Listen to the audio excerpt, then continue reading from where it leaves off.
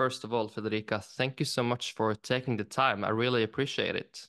It's a pleasure. Thank you, Krista.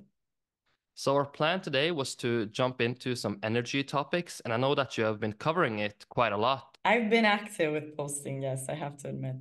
Yeah. So so what what's the reason behind it? Is it just because it's so fascinating or yeah, I mean, I'm um, I think about a year and a half ago, we decided as a group, I mean, it's mainly due to my role in Spotship that we wanted to be a bit more active as as a brand as well. So I wanted to get my opinions a bit more out there and uh, yeah the posting commenced. So that's how it got. If you're if you mean to ask about the linkedin that's mainly how it got uh, you know through to where we are today which is uh, posting almost every day of the week. So quite a lot. But uh, if you mean just in general you know on the industry and uh, you know how i got close to energy and shipping I would say mainly um, I got uh, really connected to shipping probably from my family's background. So my dad has been in shipping for almost 40 years. And as he is my, let's say, role model for many things in life, he also inspired me to pursue these uh, studies on the subject.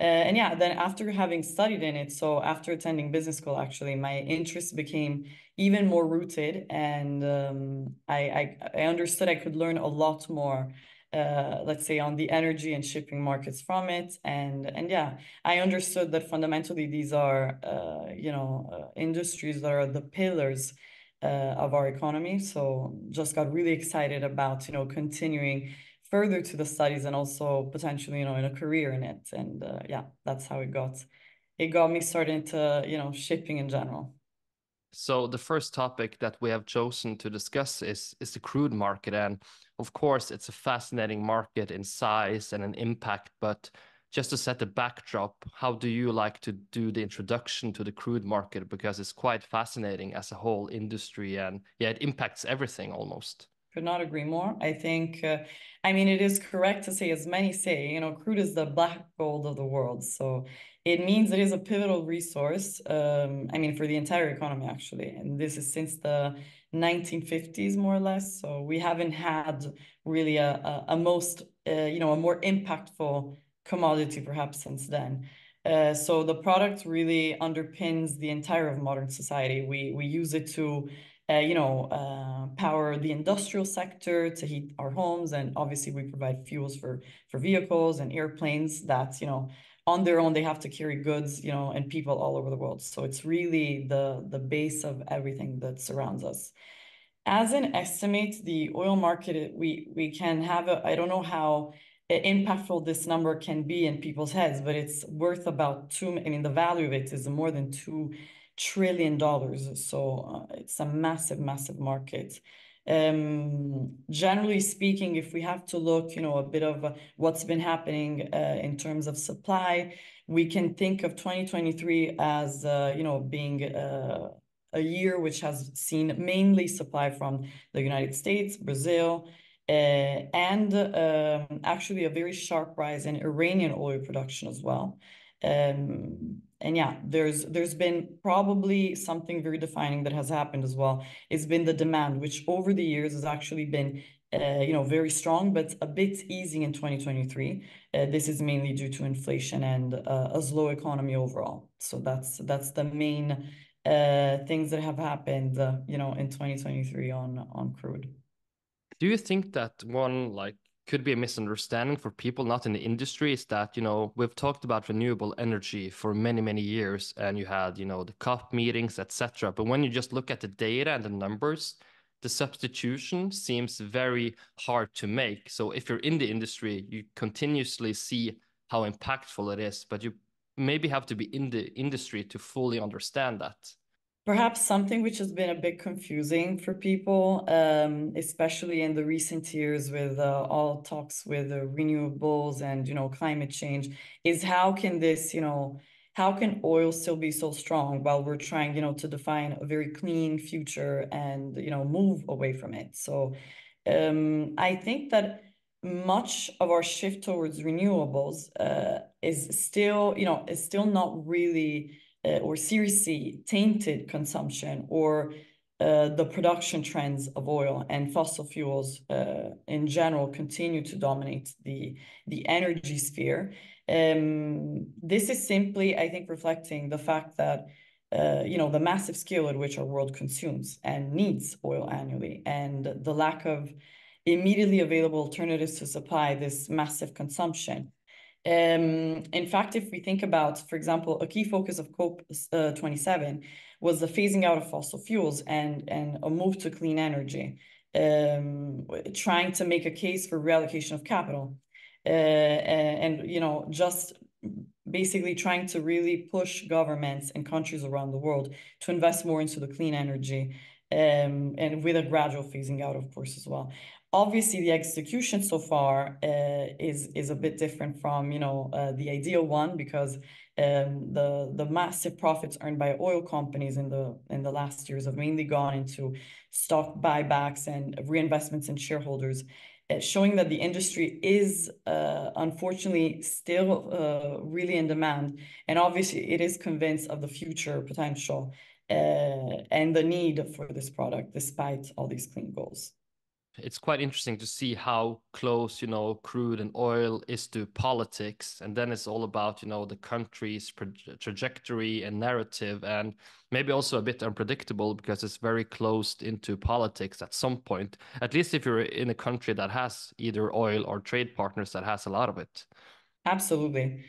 I mean i would have probably discuss a bit of the middle east on the subject. So uh, I think, you know, all the recent uh, news around disruptions, for example, around, uh, you know, the Red Sea and, uh, um, you know, what's been happening with uh, the Houthis attacks, this really uh, makes us understand how geopolitics can affect deeply the entire, you know, dynamics, not only, let's say, trade dynamics, but of course, what is happening with production and with shipping all of these uh, you know elements come into play when we're discussing such a, a hot region as the middle east that's a perfect segue because let's go over to the middle east because there yeah. was a great article in the, in the economist that it said something like you know the, the world gets messier but the impact of the middle east and the strong countries just increase and maybe that's like a global interesting narrative that that region for several reasons of course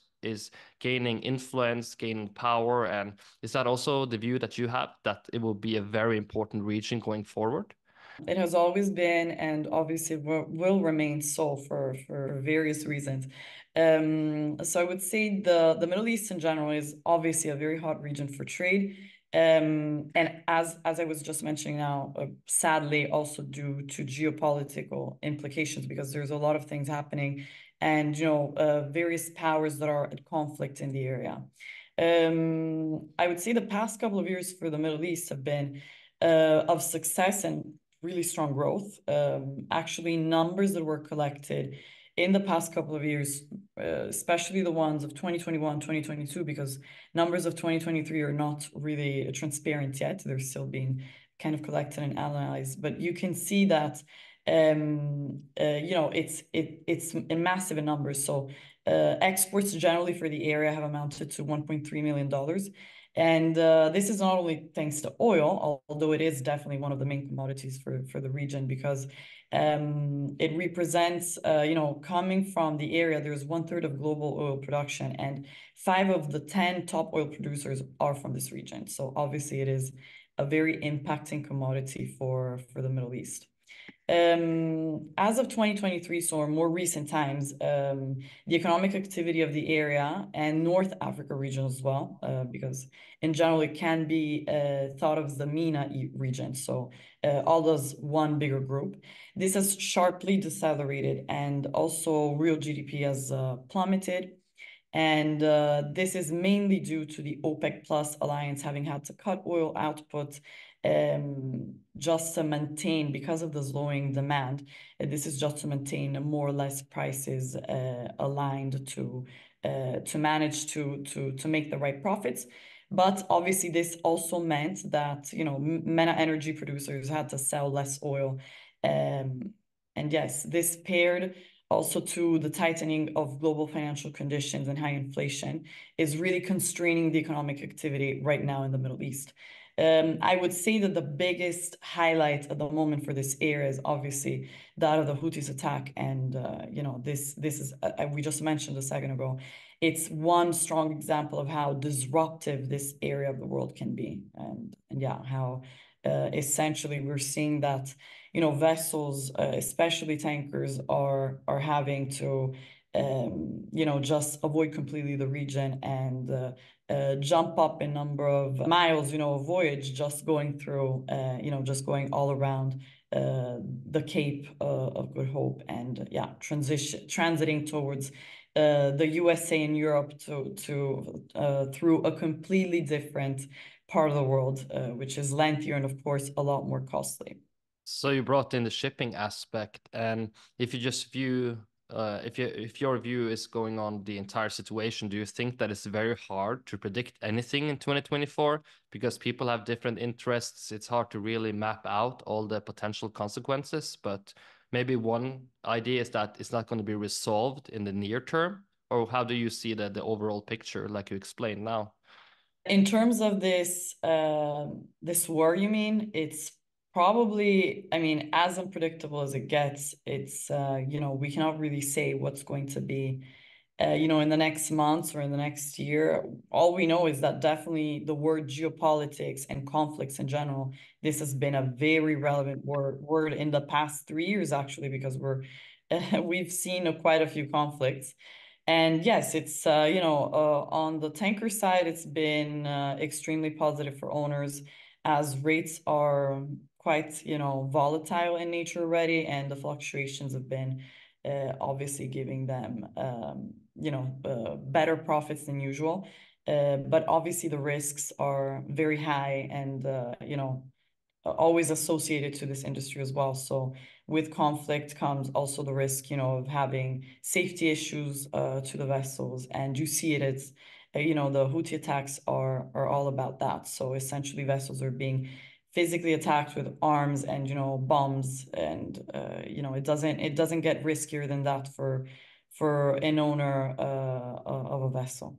So, so one topic that was quite big last year but sort of are a bit overlooked today because of the things going on is is the situation in the panama canal. And it's quite interesting one because it's not like it's a very complicated situation as well but for different aspects. So just maybe start with, you know, what's the importance of the Panama Canal and also where do you feel the situation is today? So actually, it's a very similar topic to the one we've uh, just been discussing with the Red Sea because that's the Bab el-Mandeb Strait. But in general, so the Panama Canal is another choke point, and choke points all around the world are fundamental to the operations of shipping and trade. And uh, yeah, ultimately, these are, you know, even if there are very few around the world, they're they're very important for the world to be able to function because they just cut, you know, uh, you know, uh, trade routes very significantly. So um, obviously, this is why these areas have been uh, historically also the subject of controversies and wars. Uh, and this has happened also in the past with the Suez Canal, etc. So at the moment, or uh, let's actually pick to pick up to what happened last year, which is the Panama Canal has been uh, facing severe drought um, for the entire summer, uh, which led to local authorities authorities to force, uh, um, uh, let's say, to force some measures on the shipping industry, which uh, meant cutting by several meters of max draft the vessels that were allowed through, uh, and implicating what was an initial, uh, if I remember well, about 20% drop of how many vessels were actually allowed to transit. And obviously, this might seem, let's say, insignificant from uh, you know, uh, a general standpoint, but it's actually, it meant massive consequences uh, including re rerouting and um, let's say backhaul container services having either the choice to go let's say through a, a very long wait uh, uh, let's say through the panama canal or 2000 nautical miles through the suez canal or 5000 nautical miles around you know africa. So obviously shippers had to consider these shifts in order to avoid um, issues with you know several weeks ahead of time, and which meant in massive implications from a logistical point of view, uh, and general uh, network changes and rerouting changes, uh, and obviously big costs as well. Uh, just you know to try and you know ease trade and obviously to uh, not uh, let's say be impacted to impacted too much from a backlog, although this backlog, I must say, throughout the year could have hardly be avoided. Uh, in fact, at some point, there were over 200 ships on both sides of the canal that were waiting to pass through.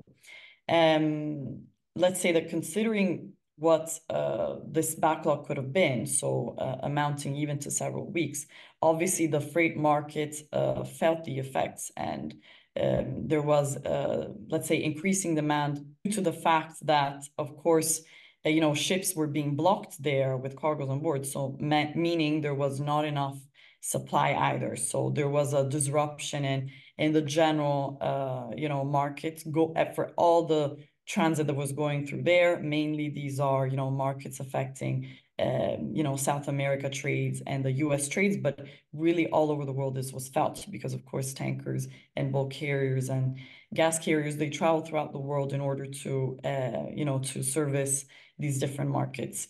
And uh, yeah, it translated into massive freight volatility in all these affected markets. And, uh, and yeah, uh, especially for those vessels that had no priority in passage. Mostly, I think this was bulk carriers and gas carriers. And if you can think in terms of numbers, an LPG tanker was known last year to have paid $2.4 million uh, in an auctioned transit slot through the canal, which is, you know, uh, crazy, crazy money. And even uh, tankers without slots were waiting up to four weeks. This is a month to find passage instead of just, you know, a couple of days usually. So it's it's you know some some really uh, unseen numbers. Um, and generally speaking, all the operators were charging premiums, of course, to carry cargo across the canal. And um, I think there was also an MR. So on the tanker side, there was also, uh, you know, a, a product tanker, uh, you know, could cost up to even one million dollars to pass the uh, the canal. And in terms of what's happening today, the situation is actually uh, more or less, you know, unchanged in the sense that there's been uh, no real. I mean, there's been some progress in terms of, you know, how to, um, let's say, solve the situation and you know just create uh, some uh, some, uh, let's say. Um, uh, solutions for this, you know, absence of, of water in the in the channel and you know where to uh, source it from and you know if there's some new technology that can be applied to it so definitely there's been a lot of things uh, that you know have been thought through and probably even with some uh, uh, initial applications but largely the situation is unchanged and the owners um, i would say obviously have profited uh, a lot from uh, this turn of events. There's been, uh, you know, a very positive year, a couple of years actually now for owners on on this from this point of view. But um, we can also expect that perhaps, you know, in the in the coming year and as it always happens, you know, with supply and demand, which kind of corrects itself. Um, you know, it, it happens when markets are allowed to develop freely. I think there's going to be some, somewhat to, to some extent, you know, a, a correction of uh, of, of freight as well. And um, from my recent readings and, you know, to what I have been uh, able to inform myself on, uh, the canal administrators are now estimating that uh, actually their their levels of investment in, in a solution will be instead of the initially estimated $200 million, they will be actually looking at somewhere between 500 and 700 million dollars estimated cost to actually find uh, you know, a, a long-standing and, you know, final solution to uh, the dipping water levels. So we can see that it's probably some some more work in progress for for the Panama Canal. It's a fascinating situation. Is it as easy as you know when you just explained that you know there's a huge queue there and some people are willing to pay you know million dollars to skip the queue? Is it is it just a question of you know if the market is good and the freight rates is high it's easier to pay that but if the market is bad it becomes maybe a bit more complicated situation to really understand what what's the worth of skipping the queue it seems it's going to be a, at least a quite interesting excel sheet to fully understand that and who's going to take the yes. cost i mean it's not really simplifiable to to yeah. very few factors but of course i mean an operator that is you know in urgent need if if it's a trading cargo and the cargo needs to be, you know, finds home uh, at a very, very positive margin. And when you create, you know, your equation, uh, including the shipping costs inside and there's still a profit, then I guess that urgency of shipping it within those dates is justified by, you know, the general profit that you're making by by selling the cargo. This is more a, let's say, a, a trading, you know, perspective and not that relevant, you know, for ship owners, they're being paid obviously that cost to go through. And uh, yeah, it's all about, you know, the the the charter, the vessel, is he, you know, being paid enough to deliver that cargo within that lake or on that date, then definitely they will try to do it. And yeah, I mean, it is only in very few instances and probably on on contract cargoes that have to be uh, you know, um, let's say um, delivered that you know they'd be making a loss but i don't i wouldn't foresee that you know it's it's always normally um, you know justified by a profit made on the cargo side that the shippers are able to to then pay through the entire transaction all the way down to you know the owner having to transit so yeah. if you see the connection i yeah. hope it was clear yeah it makes sense so just to wrap off, you know, the macro perspective, we're heading into the second month of 2024. Do you think these are going to be the big topics to follow ahead, or do you have any other, you know, candidates or things that you would like to keep an eye on personally? Well, definitely, uh, there's there's a few trends in perspective for oil and trading, uh, and there's some trends that are expected to be seen already. Um, as we said also earlier, global oil supply is actually forecasted to rise over demand in the coming year. If we were to talk about, you know, between OPEC and non-OPEC, so the non-OPEC production will dominate, while the OPEC plus will mainly hold steady, is or at least expected to hold steady. Um, the increases in global oil demand are also set to, we already mentioned, they will drop and are probably set to halve more or less. And this is due to GDP growth, um, which is below trend, and uh, generally speaking, the adoption of a lot of the uh, you know energy efficiency improvements that we've, uh, as you know, as an economies, as a global world, we've been uh, you know discussing for for many years now. So there's uh, more and more of these efficiencies that are getting, uh, let's say, adopted. Um, and yeah, uh, already crude oil futures at the moment, they're so far rising due to geopolitical trends in the Middle East. So this is another massive topic, I think, for 2024. Generally speaking, the word geopolitics. So um, yeah, there's uh, as global oil supply disruptions uh, from this conflict remains elevated currently and will remain elevated potentially, you know, throughout the year unless there's some solution that is being found. We expect you know these these prices to to to be higher and of course you know freight as well on the shipping side to be very volatile and perhaps sustained.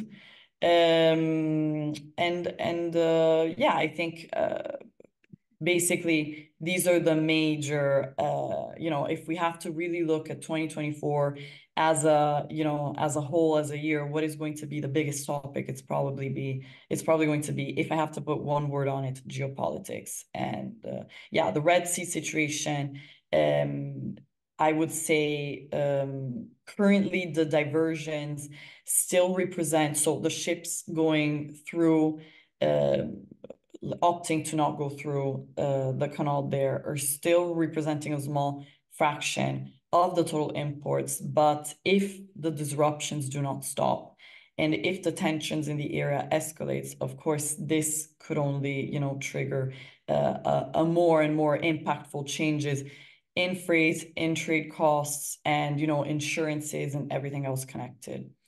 Um, so yeah, I would say, and you know, oil prices in general are not only going to be, uh, you know, um, let's say affected by these geopolitics, but of course also on any, you know, um, extended OPEC plus supply curtailment and also weather related general generally, you know, these are the factors that really affect um, you know, the oil prices at large. So also weather uh, conditions, as we've seen, for example, the Panama Canal performing last year due to drought. So these um, these will top off, you know, the year. I think that's a that's a great summary. And you mentioned it already in, in the early beginning, but the, I thought the next segue would be a bit about your career, how you ended up there. But just to recap, so yeah. it was basically your family uh, involvement in shipping that made you quite interesting from an early age, or did that grow? Because I think that also can backfire to have that conversation around the dinner table every day growing up. That you either want to work with that, or you just say, "I want to do something else." A very good point, actually. I mean, I would say because of the nature i mean a lot of people on the commercial side of shipping you know they they tend to be i mean they say shipping is not a job you know it's a lifestyle so basically this uh, definitely was, you know, a keyword for for my father. Meaning, it always brought, you know, he always brought the conversation back to the family. He was, uh, he's always been very, you know, open and discussing, you know, his uh, his uh, deals or you know things that you know happened in his life and you know on a professional level because it was such a big part of his life and. I just thought it was a very, you know, uh, exciting, you know, the way that he pictured it and you know the way that he spoke about it was just like so dynamic so exciting always things happening. So as i'm a bit of a you know i like adrenaline as a personality i like this excitement. I thought it would be you know so cool to to try to work in shipping as well. I think what initially happened i mean the early age definitely was uh, you know the the knowledge that the shipping industry even existed because i don't think a lot of people you know, outside of the industry even know how big, uh, you know, of um, of a world it is, and of course how many things happen in it. So already knowing about it was a first step. And then when I went through uh, my bachelor, actually, um, I went through a couple of universities, including Bocconi, which uh, kind of programs you in a in the best positive way, uh, you know, to become somebody uh, you know, highly performing and, you know, um, working potentially, you know, for investment banks or a consulting companies. So I thought it was a bit, uh, you know, I had this outlook of life that was too standardized in that sense. I mean, everybody was going to do more or less the same things, or everybody was trying to be planned to do the same things. And I wanted to do something a bit more special. And this brought me back to this initial experience of, oh, shipping is so exciting why don't I continue my studies in that? And I and I really want to, you know, potentially uh, create a career, like a lifelong career in it. And and yeah, that's that's basically what led me then to uh, apply for business school at uh, once called Cass Business School, and actually today it's called Bayes Business School. Recently changed name, and and yeah, that's uh, you know after that I think it's um, it was all you know uh, work and you know career but this was my initial step into the shipping industry probably um, you know wanting to apply to business school and understanding more of it from mm-hmm. from an educational standpoint as well can you explain a bit uh, the thought process of academia versus shipping? Because you have some people in shipping who says that shipping all, is all about the people being in the market, executing, and then maybe you have some people who say, no, you really need the education to understand that because shipping, I guess, is a bit unique in the sense that it is very network driven and people driven. So is that just like a plus plus combination if you can do school, or do you think there's several paths into a successful shipping career? Well, I think it really depends on the person and you know what you need at and also the age, you know, the age at which you're trying to to take your first steps into any career. So I think it's valid for the shipping business, but in general for every uh, you know career that you want to get into. So if you already feel very convinced and you have an idea already of how to perform the job because maybe you know people uh, you know that you know have been working in a particular sector and uh, you know you you have more or less clarity. That's like the biggest thing and you're convinced or so if you feel confident about something of course you will try to perform in it already. As you know young people normally you know in their early 20s between 18 20 years old you want to try to understand a bit more and probably you know go one foot uh, ahead of the other so as slowly as possible without throwing yourself into um, you know a job without a safety net. So without uh, uh, people that advise you you know or, or give you uh, perspective on it then maybe you know in that case it, it is a good idea to try to uh, advance you know your first steps through a business school or you know the educational path first.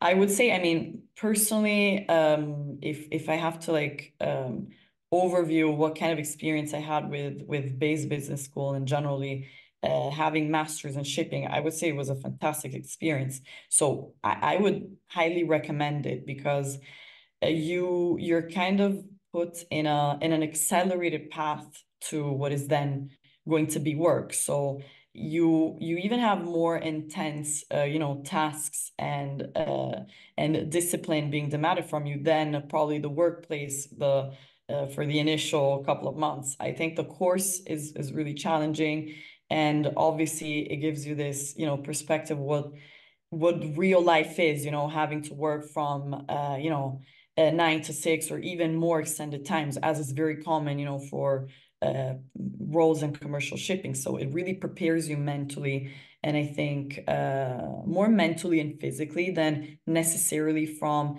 an academic point of view. So that's probably the biggest connection to business school is being able to create a mentality for work and not just, you know, the right skill set because the skill set is always easier, you know, to actually practice and to acquire when you're in the workplace. And there's nothing that is really going to prepare you ultimately, you know, to, to being able to work. It's always going to be just your mentality around it and yeah, I, I, I honestly, I mean, from my perspective, I, I definitely recommend business school.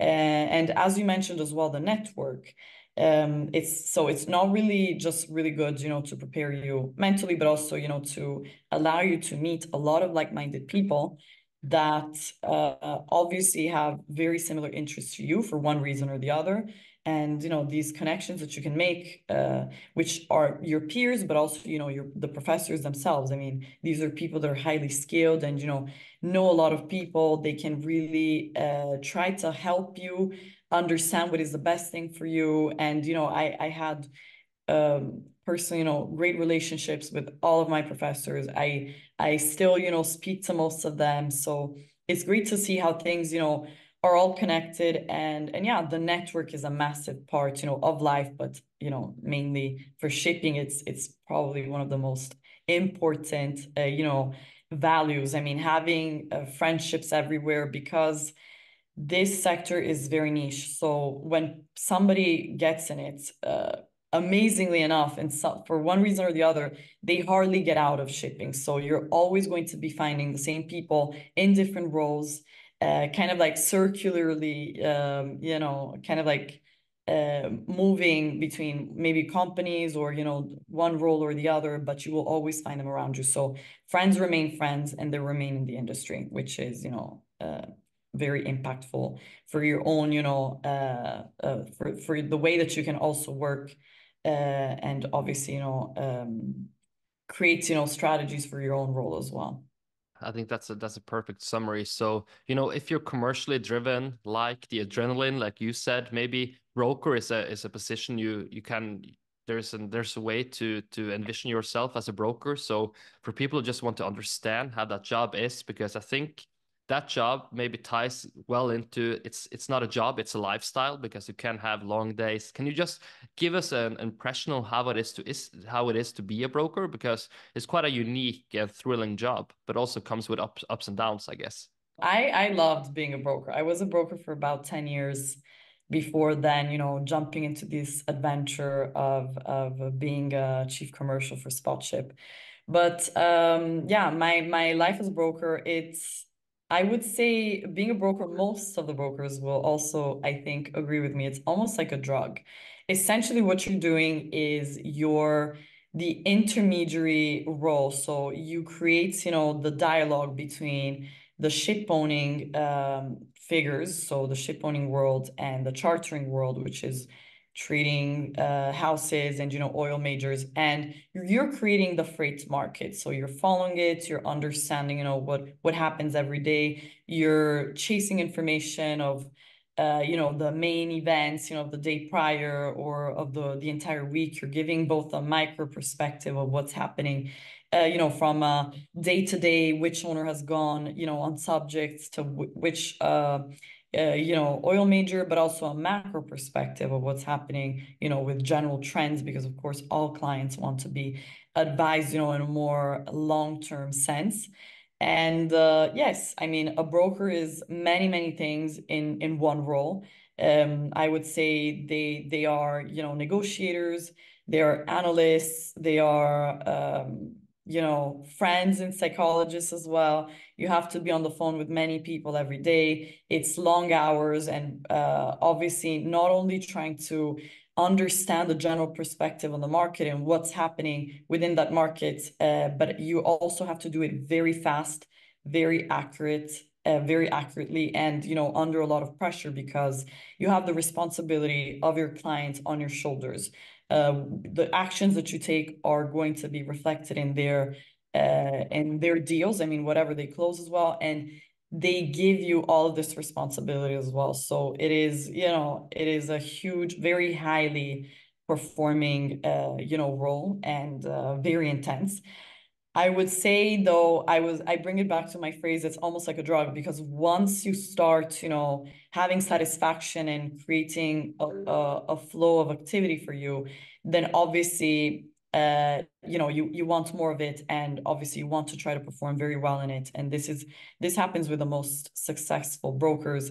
Uh, they just feel this constant satisfaction in um, and you know in in delivering for their delivering for their clients and servicing their clients so in being able to create value added for them and you know uh, find the best you know match between ships and cargoes and you know the best rates etc and the ultimate information level so so yes i mean it's um it's a very very exciting job you can also tell a bit about, you know, Spotship? Because is it fair to say that that tool that you're building is to help the broker be more efficient, be better at work, etc.? And then you've you've been a broker for 10 years, so you maybe you're creating the product you wish you had 10 years ago. I mean, the the interface itself was actually a bit of the um, you know, kind of like the child of my dissatisfactions uh, in using other, you know, other kinds of software. So I wanted, you know, some modifications to happen and kind of like the best of of many different worlds and a bit of a futuristic approach on how I could perform, you know, uh, my day-to-day role. And it, you know, the interface was created um, respecting these ideas as well. But yes, what we're trying to do with Spotship these days is uh, we could say our mission really is to help, you know, commercial players at large in the industry to make better use of their time and their data. And this we do by applying several tools uh, to their day-to-day, something um, which uh, puts together the AI parsing of commercial data, technical specifications of vessels, the live location of vessels, and you know many many calculators any tool that we or our clients can imagine to essentially uh, you know uh, make better use of their data time we create, we put into play, and yes, in a as bespoke manner as possible, and with really positive and uh, present customers uh, service as well. So we're trying to target different angles in which um, the broker and most commercial players were.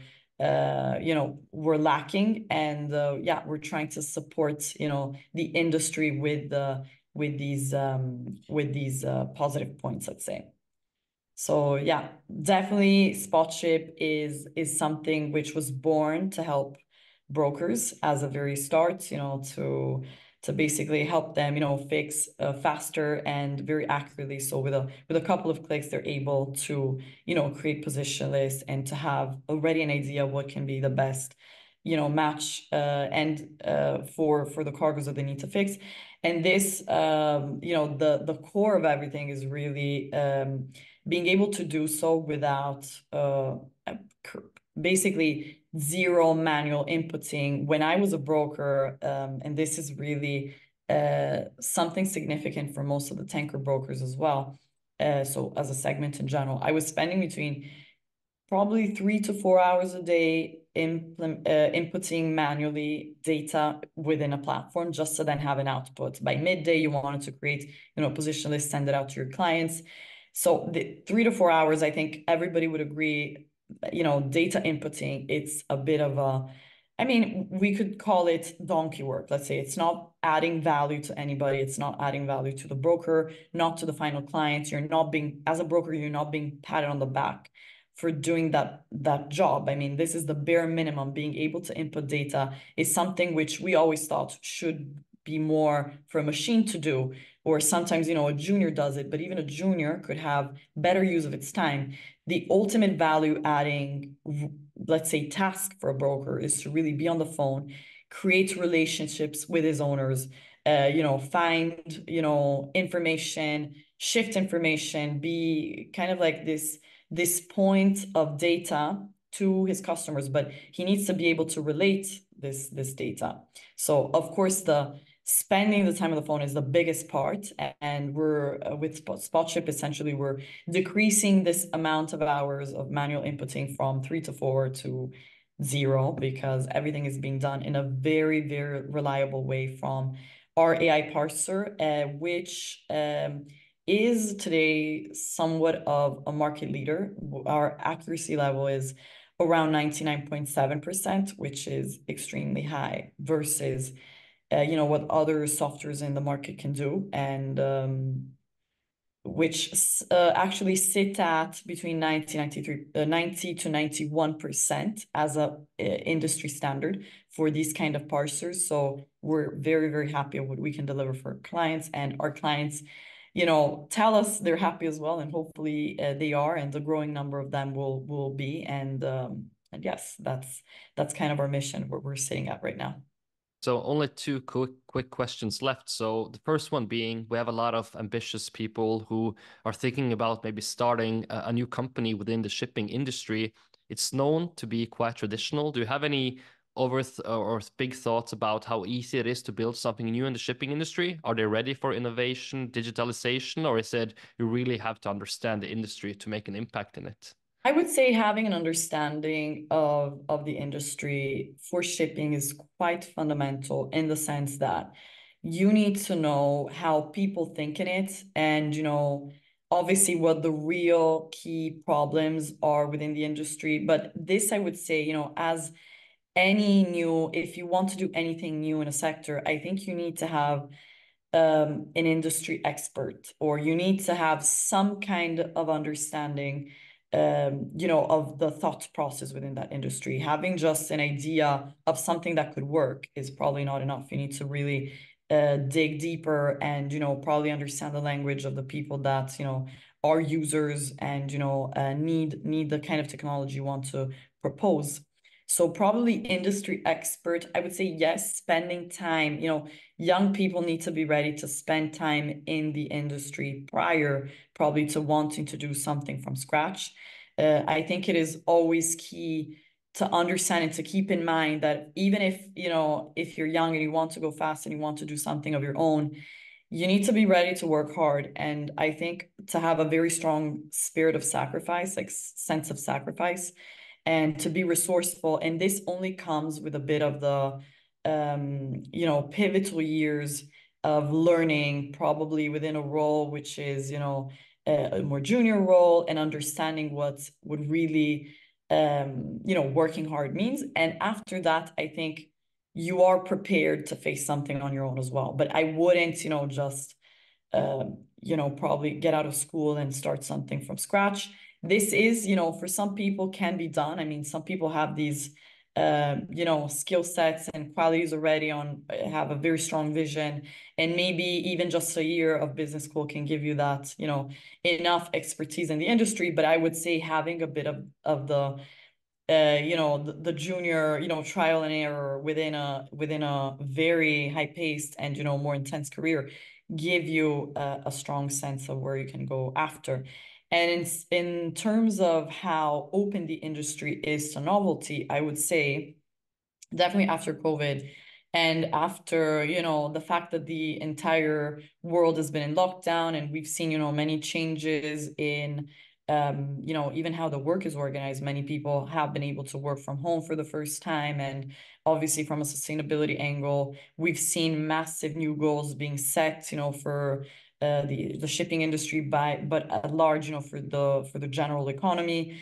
Um so uh going towards you know a clean future and more uh, tech savvy future as well because technology is imperative when we're talking of um, you know having a, a more effective and clean future as well. We need we need to help ourselves with more data and data processing also comes you know with um, with technology. So all of these uh, trends and all of these uh, key happenings i think have opened the mentality to many players, the big and the smaller companies as well, have started to understand that, of course, I mean, they have to, you know, open their eyes and open their ears to to novelty. And I think there is a bit of, uh, you know, more maturity in the industry to accept, you know, uh, and adopt new technology essentially. So, so yes, I I think the uh, the potential is there, and you know, there's uh, I think shipping these days is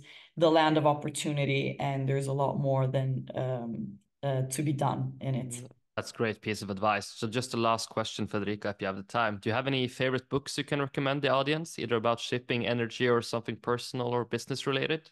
So two nice classics that I've uh, read, uh, not recently, I have to admit, this these are very big classics are The King of Oil and Oil Kings. Um, they're they're two big pillars, you know, in terms of trading in oil.